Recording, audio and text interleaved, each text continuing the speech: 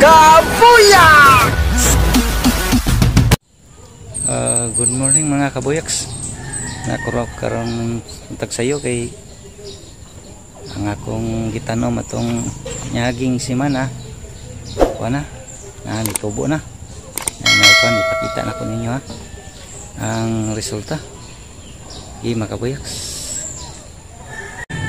Itong nyaging simana akong gitanom yung mga kabuyaks.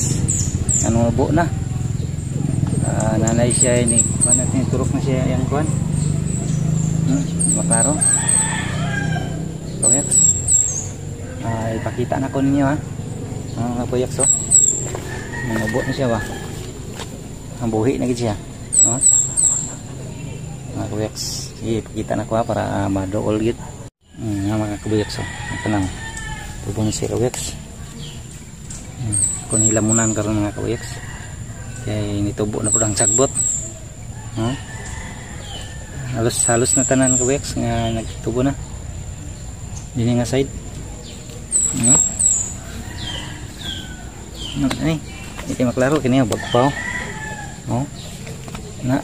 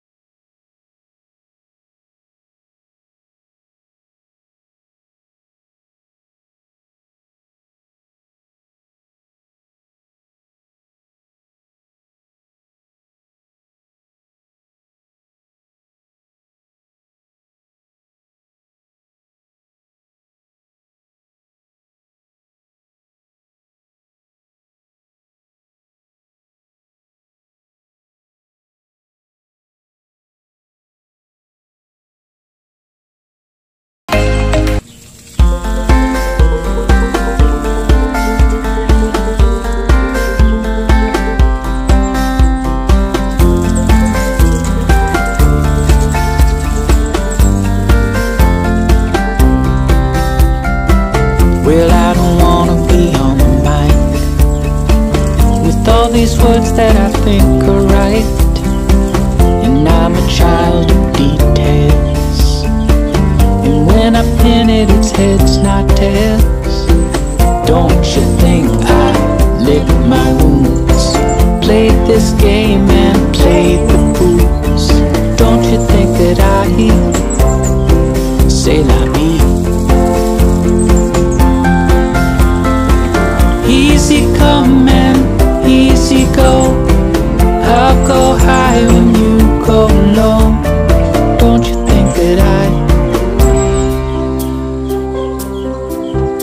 will I be?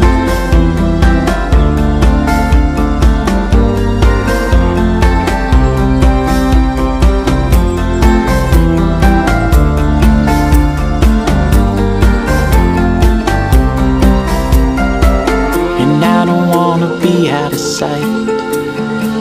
The way I look, fills me.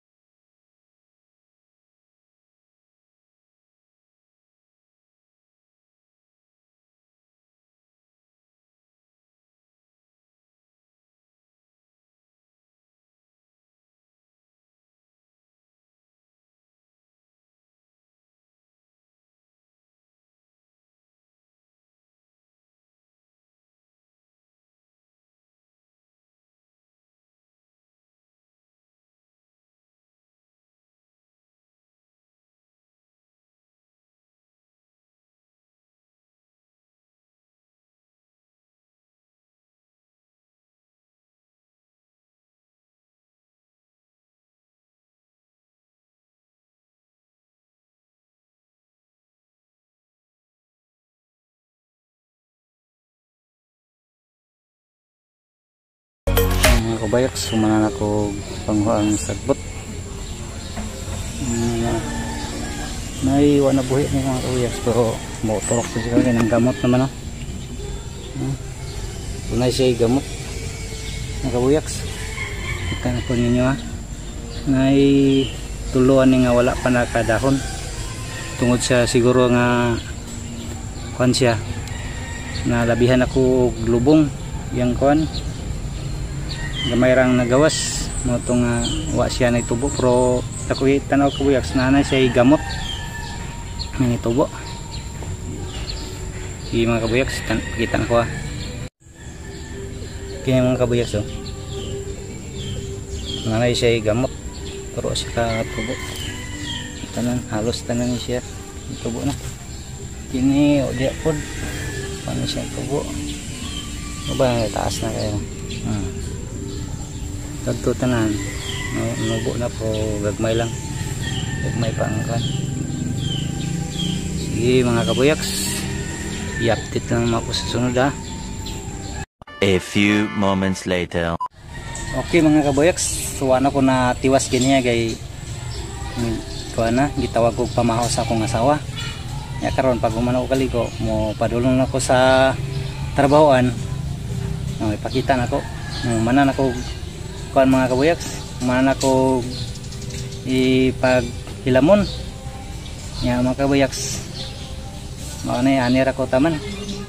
O i-update lang muna ko sa sunod na kung siguro mga sunod simana na motubo siya tas-tas na siya mga kabuyaks para makita po ninyo kung ikuha na ba kung ipang tanom lagi mga kabuyaks salamat sa pagtanaw. Don't forget to subscribe me and click the notification bell. Uh, salamat sa tanan nga nagtanaw. Bye bye God bless. Kabuya!